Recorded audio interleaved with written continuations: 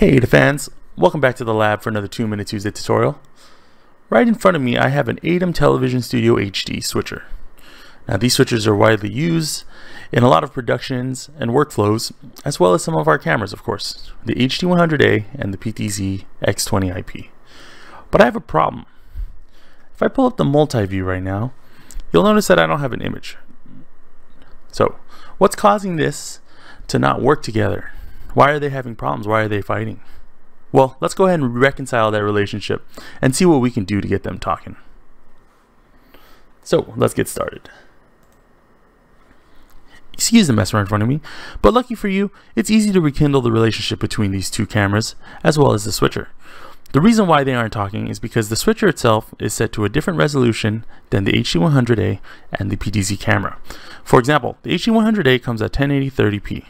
The PTZ itself comes in at 1080-60. However, I did change this to 1080-30 just for this, you know, demo sake. Now, the, the switcher itself, it's easy to tell what resolution it's set at. So if we go ahead and we go to the ATEM, when we enter the menu, you'll notice that in the settings, you'll find video format. And that video format itself is set to 1080p 5984. This is the main reason why the cameras aren't able to communicate. So by having the ATEM switch cave in to the format of the cameras themselves at 1080p 30 or closely related to 1080p 2997 because the ATEM switch itself doesn't support full frames, you'll now notice that just like any relationship, once somebody caves in, it starts to work again. And voila, just like that, we're going to have our two cameras working on our ATEM switch here. I have our uh, HD100A right in front of me, and then I have our PTZ camera right here. Now, sometimes you'll get an issue where maybe like, you know, one of the cameras is flickering or something like that.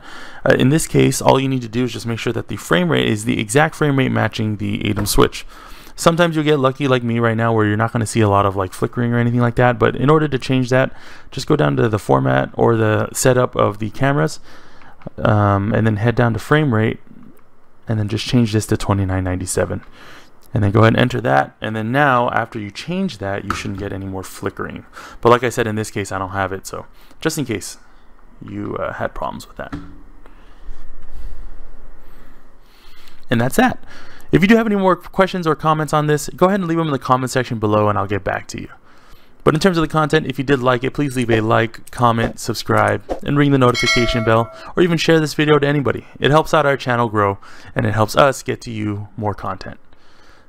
That's it for today. I'll see you next week.